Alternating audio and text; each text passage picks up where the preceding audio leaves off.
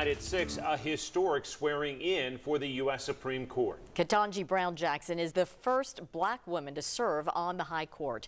Today, we are hearing from people in East Tennessee celebrating the milestone for young people now to be able to look to her and see themselves represented, I think is huge. And even beyond just young black girls, I think for our larger population to see and understand a black woman in this position and understand that she deserves to be there and is qualified means a lot to our society.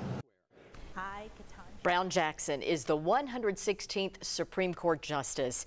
She's also the first former public defender to serve on the High Court.